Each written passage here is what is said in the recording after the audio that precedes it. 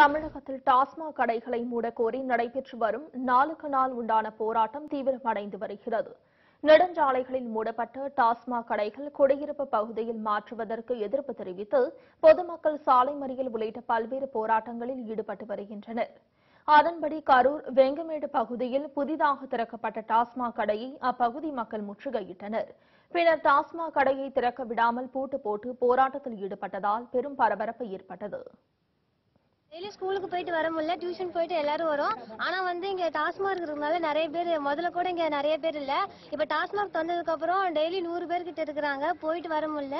Night வரும்போது அப்பா அம்மா தான் வந்து கூட்டிட்டு போயிரு கூட்டிட்டு போயிட்டு இருக்கிறாங்க. எங்களுக்கு வர்றதுக்கு ரொம்ப கஷ்டமா இருக்கு. ஸ்கூலுக்கு போக முடியல டியூஷன் போக முடியல. கலெக்டர்கிட்ட கூட போய் மனு கொடுத்தோம். ஆனா இன்னும் இங்க டாஸ்மார்க் ஒன்றும் மூடல. டாஸ்மார்க் வரக்கூடாதுன்னு சொல்லி பூட்டு போட்டிருக்கோம். வேலூர் மாவட்டம் சோளிங்கர் அருகே டாஸ்மாக் கடைக்கு கொண்டு வந்த மது பாட்டில்களை பொதுமக்கள் உடைத்து தீயிட்டு கொளுத்தினர்.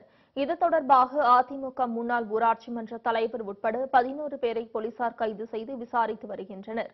இதேபோல் அருப்புக்கோட்டையில் குடியிருப்பு பகுதியில் புதிதாக திறக்கப்பட்ட டாஸ்மாக் கடையை முற்றுகையிட்டு அப்பகுதி மக்கள் போராட்டத்தில் ஈடுபட்டனர்.